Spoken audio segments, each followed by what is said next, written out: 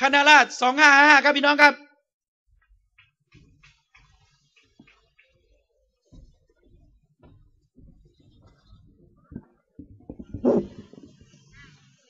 ครับพี่น้องผู้รักประชาธิปไตยและความเป็นธรรมที่รักและเคารพครับ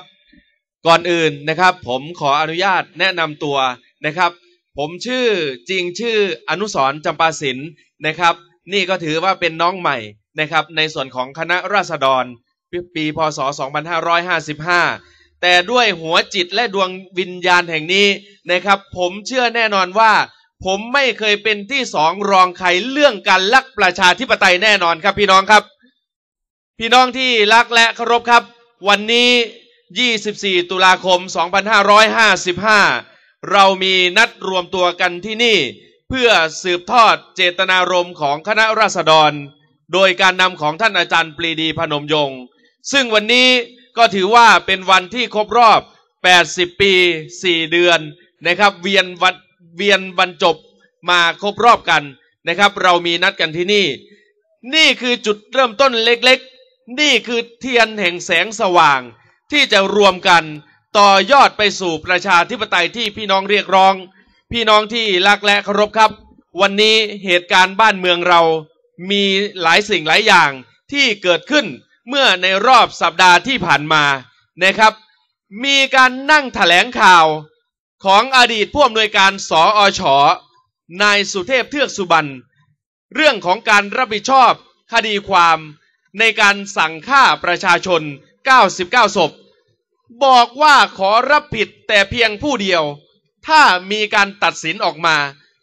ไม่น่าเชื่อครับพี่น้อง ผมถือว่าต้องจารึกไว้ในประวัติศาสตร์ชาติไทย เมื่อนายสุเทพเทือกสุบรรณร้องไห้ครับพี่น้อง ในจังหวะที่ร้องไห้เนี่ย ดีไม่ดีนะครับ น้ำตาไม่ไหลถอดแว่นตาออกมา เอาผ้าเช็ดหน้าเช็ดตา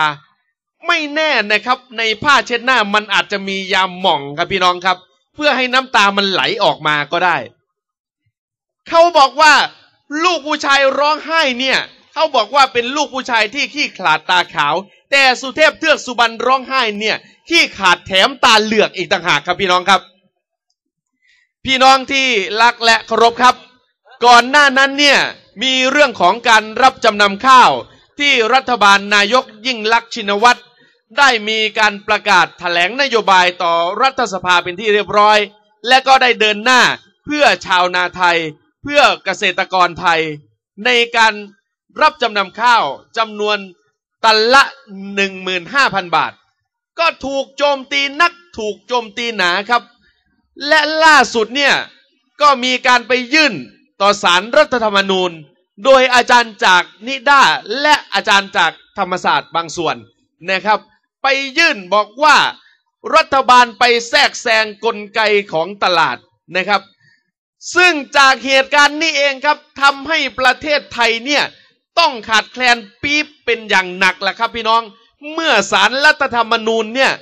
เขามีมติ9ต่อ0บอกว่าไม่รับคำร้องนะครับ สืบไปสืบมาเนี่ยทำไมปี๊บมันถึงขาดแคลนครับ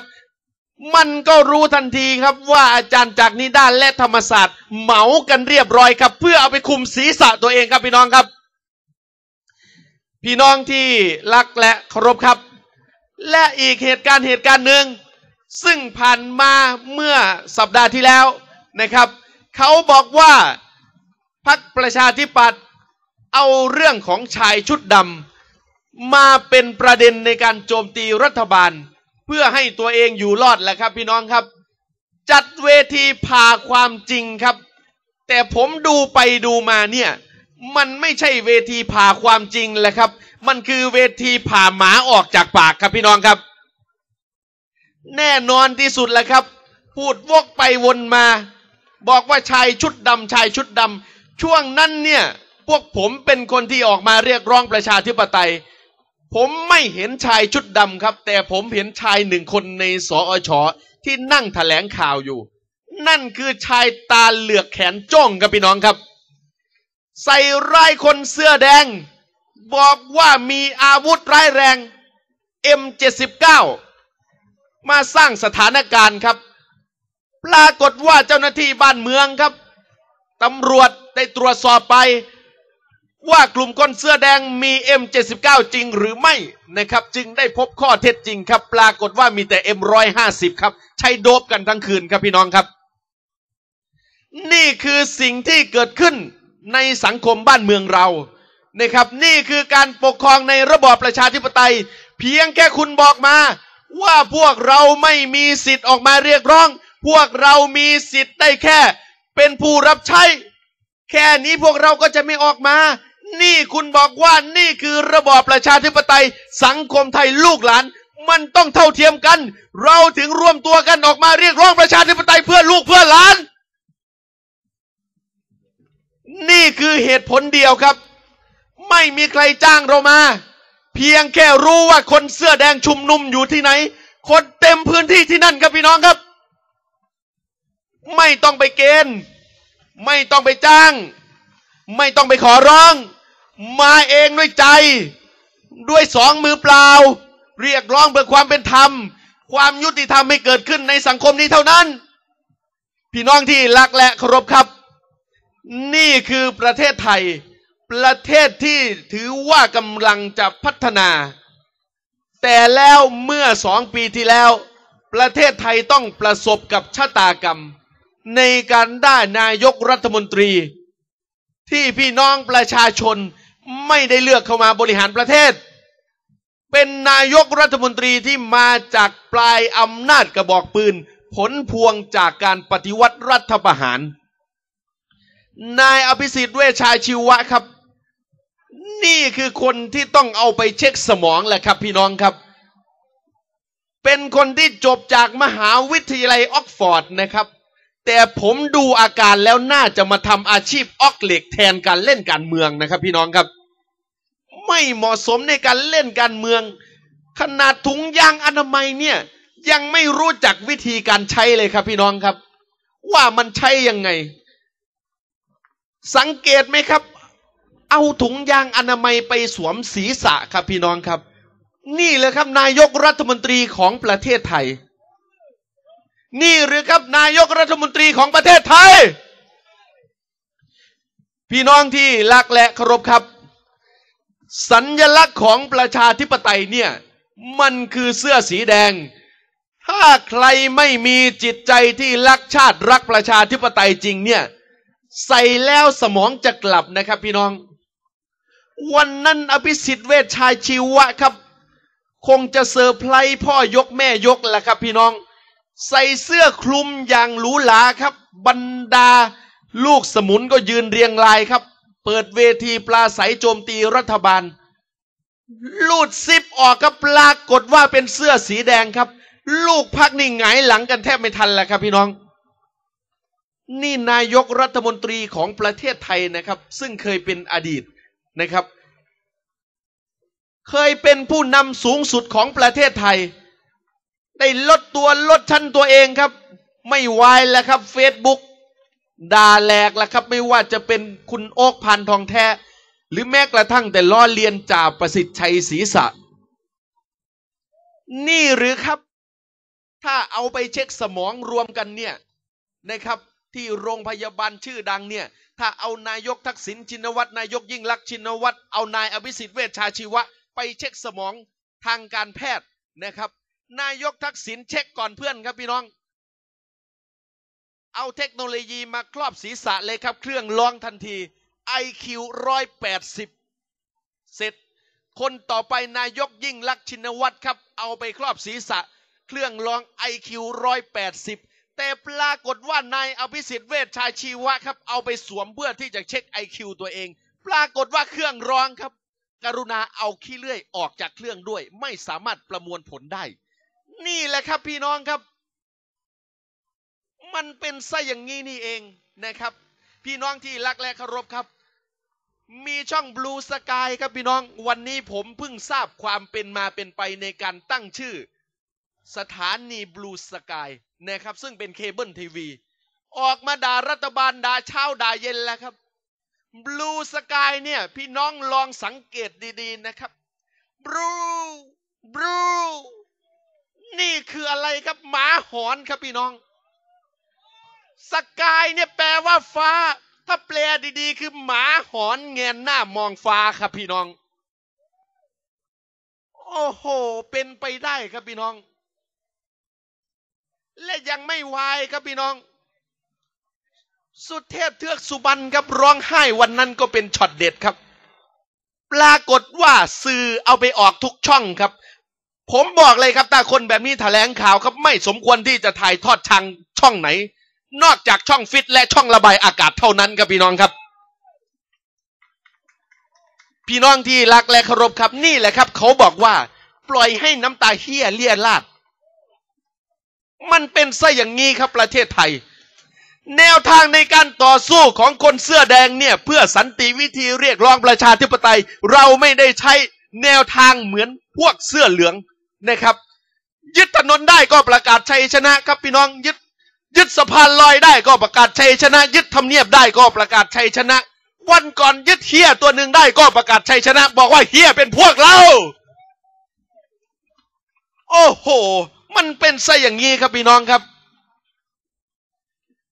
ถามหน่อยครับว่า วันนี้พวกคุณออกมาโจมตีการทำงานของรัฐบาลยิ่งลักษณ์ชินวัตรเรื่องของการจำนำข้าว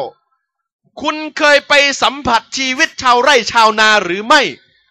ในฐานะที่ผมเป็นลูกหลานชาวนาขนานแท้ ผมย่อมรู้ดีกว่าพวกคุณ ถ้าจะถามพันธมิตรบอกว่า พวกคุณเคยปลูกข้าวไหมนะครับ อันนี้ผมคงไม่กล้าถามแหละครับคำตอบออกมาน่าจะบอกว่า มึงไม่เห็นหรือไง กูปลูกในทำเนียบรัฐบาล ผมก็กลัวหงายหลังเหมือนกันครับ และเมื่อวันพุธก่อนนัทวุฒิใสเกลือพร้อมด้วยจตุพรพรมพันธ์ครับท้าดีเบตเรื่องชายชุดดำกับอภิสิทธิ์และสุเทพครับ ได้รับการปฏิเสธอย่างทันควันแล้วครับ จากอภิสิทธิ์เวชชายชีวะ เรื่องดีเบตชายชุดดำขอปฏิเสธการท้าดีเบต แต่ถ้ามึงท้าเรื่องดี แต่พูดกูไม่เคยเป็นสองรองใคร นี่แหละครับพี่น้อง ผมถึงบอกว่าประเทศไทยมีความโชคร้ายที่ได้นายกรัฐมนตรี สมองหัวขี้เลื่อยแบบนี้นะครับ หัวเนี่ยเขามีไว้คิดครับ แต่เขานั้นมีตั้งไว้บนบ่าเพื่อให้ครบ32ประการเท่านั้นเอง ไม่มีความคิดที่จะเสนอแนะแนวทางในการดำเนินงานในการบริหารประเทศให้มันก้าวเดินหน้าต่อไปอย่างมีเสถียรภาพ เอาไปสู้กับนานาชาติได้อย่างสมศักดิ์ศรี วันนี้ประเทศไทยกำลังจะก้าวสู่ประชาคมอาเซียนในอีกไม่กี่ปีข้างหน้า รัฐบาลก็พยายามจะผลักดันนโยบายต่างๆแหละครับ เพื่อให้ครอบคลุมทั่วถึงรับประชาคมอาเซียนที่จะมาถึง แต่ก็ไม่วายโดนขัดขวาง จากไอ้พวกที่ไม่หวังดี จ้องล้มรัฐบาล มีข่าวออกมาครับว่าวันที่ 28 เนี่ย จะมีการจัดชุมนุมใหญ่ที่สนามม้านางเลิง วันนี้นะครับ ผมก็ต้องขอบอกกับพี่น้องประชาชนผู้รักประชาธิปไตยด้วยความรักและเป็นห่วงนะครับ วันนั้นเนี่ยที่สนามม้านางเลิงเนี่ยคงไม่มีที่นั่งนะครับ ไม่ใช่เพราะคนแน่นแหละครับ ปรากฏว่าวันนั้นแต่มีแต่พื้นที่วิ่งเล่นและนอนเล่นทั้งนั้นครับโล่งโจ้งแน่นอนครับพี่น้องครับ พี่น้องที่รักและเคารพครับ วันนี้ต้องขอบคุณนะครับ ในส่วนของบรรดาญาติมิตรพี่น้องทั้งหลายที่ออกมาร่วม รับฟังการปราศัยในครั้งนี้ ถึงแม้แดดจะออกฝนจะตกฟ้าจะร้องครับ ด้วยหัวใจที่เป็นประชาธิปไตยและเด็ดเดี่ยว ในการต่อสู้ มุ่งหวังให้ประเทศชาตินี้เกิดความเท่าเทียมกันในสังคม ต้องขอยกย่องนะครับ ในหัวจิตหัวใจของพี่น้อง ไม่ว่าจะเป็นในส่วนของผู้ประสานงาน ผู้ที่มาร่วมรับฟังหรือบรรดาคนที่สัญจรผ่านไปผ่านมานะครับ ท่านถือว่าเป็นส่วนหนึ่งของคณะราษฎรนะครับ ถ้าเสียงนี้ไปกระทบในส่วนของโสดประสาทการรับฟังท่าน ถือว่าท่านเป็นส่วนหนึ่งของคณะราษฎรแน่นอนครับพี่น้องครับ พี่น้องที่รักและเคารพครับ วันนี้เราก็จะมีในส่วนของพูดจาปราศัยกัน ของบรรดานักวิชาการนะครับ หลาย ๆ ท่านจะมาให้ความรู้และก็วิเคราะห์สถานการณ์เหตุบ้านการเมือง หลังจากวันนี้เป็นต้นไป สถานการณ์ทางการเมืองไทย จะมีความรุนแรงและเข้มข้นดุเดือดมากยิ่งขึ้นนะครับ โดยที่วันนี้นั้นหลายฝ่ายที่อยู่ตรงข้ามกับรัฐบาลของประชาชน มีความอิจฉาตาร้อนในการบริหารงาน ด้วยความสำเร็จของการนำภายใต้การนำของนายกรัฐมนตรีที่ชื่อยิ่งลักษณ์ชินวัตรนะครับ วันนี้มันก็มีเรื่องราวของการข่าวข่าวออกมามากมายเรื่องของการจ้องที่จะล้มล้างรัฐบาลที่อยู่ฝ่ายประชาธิปไตย พี่น้องที่รักและเคารพครับ ผมเชื่อแน่นอนว่าพี่น้องคงจะเป็นผนังทองแดงกำแพงเหล็ก ให้กับรัฐบาลชุดนี้ ที่เราได้เลือก และก็ตั้งใจที่จะให้เข้ามาทำงานแทนพี่น้องประชาชนชาวไทย พี่น้องที่รักและเคารพครับ ก็มีอีกหลาย ๆ ท่านนะครับ ที่จะมาขึ้นพูดจาปลาใสนะครับ ต่อจากผมซึ่งวันนี้เนี่ยผมต้องกราบขอบพระคุณในโอกาสนะครับ ที่ให้ผมได้มีโอกาสมาพูดจาปลาใสพร้อมกับทำหน้าที่เป็นโฆษกเวทีแห่งนี้นะครับ ผมขอพูดต่อหน้าพี่น้องประชาชนพร้อมกับผู้ที่กำลังฟังการถ่ายทอดสด ผ่านทางอินเทอร์เน็ตทั่วโลกว่า ถึงผมจะเป็นแค่ลูกชาวบ้านหลานชาวนาตาดำๆคนหนึ่ง ที่ไม่มีศักดินา ไม่มียศนำหน้า มีแค่สองยศเท่านั้นเกิดมาในชีวิตนี้ คือยศที่ใช้นำหน้าว่าเด็กชาย พอถึงอายุ 15 ก็เปลี่ยนมาใช้ยศว่านายนำหน้านั่นเองนะครับ ด้วยหัวจิตหัวใจที่คารวะและศรัทธาในมวลหมู่มิตรประชาชน ผมขอสัญญาว่าผมจะอยู่เคียงบ่าเคียงไหลกับพี่น้องประชาชน ที่รักประชาธิปไตยและความเป็นธรรม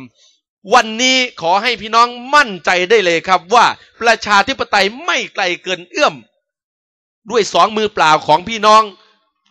คนไทยทั้งประเทศนะครับ วันหนึ่งเนี่ยผมสันนิษฐานว่าสายการบินที่สุวรรณภูมิ น่าจะมีสายการบินประชาธิปไตยเกิดขึ้น โดยการขับเคลื่อนของกัปตันทักษิณชินวัตรนะครับ และมีผมจะเล่าให้ฟัง มีสายการบินประชาธิปไตยบินจากสุวรรณภูมิไปสู่นิวยอร์กประเทศสหรัฐอเมริกา มีผู้โดยสารมีผู้โดยสารสามคน คนหนึ่งชื่ออภิสิทธิ์เวชชาชีวะ คนหนึ่งชื่อสุเทพเทือกสุบรรณคนหนึ่งชื่อเนวินชิดชอบ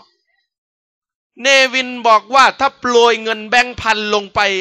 จะมีประชาคนประชาชนคนไทยดีใจหนึ่งคน เพราะเก็บได้หนึ่งพันบาท สุเทพเทือกสุบรรณเลยบอกว่า ถ้าเอาเงินแบงค์พันไปแลกเป็นแบงค์ห้าร้อยสองแบงค์โปรยลงไปจะมีประชาชนคนไทยดีใจสองคน แต่อภิสิทธิ์เวชชายชีวะบอกว่าถ้าเอาเงินแบงค์พันแบงค์นี้ ไปแลกเป็นแบงค์ละหนึ่งร้อยบาท จะมีประชาชนคนไทยดีใจสิบคน นายกกับตันทักษิณได้ยินแบบนั้นก็เลยเอ่ยขึ้นมาว่าถ้าเอาคุณสามคนโปรยลงไปจะมีประชาชนคนไทย ดีใจทั้งประเทศแหละครับ พี่น้องครับ นี่แหละครับหัวจิตหัวใจของประชาธิปไตย เราไม่ต้อนรับคนที่ยืนอยู่ ฝั่งตรงข้ามกับประชาธิปไตย ไปอาศัยแต่อำนาจปลายกระบอกปืนของทหาร วันนี้ทหารก็อยู่ในกรมในกอง เขามีหน้าที่ที่จะปกป้องอธิปไตยของประเทศไทยเท่านั้น เขาไม่มีเลยหน้าที่ที่บัญญัติไว้บอกว่าให้มาปราบปรามฆ่าประชาชนด้วยสองมือเปล่า วันนี้ต้องให้เข้าใจด้วยกันนะครับ พี่น้องครับ ถ้าคุณเป็นนักการเมืองที่มีสปิริตคุณต้องมาสู้กันในระบอบประชาธิปไตย ใครที่ได้ครองเสียงข้างมาก คุณก็ให้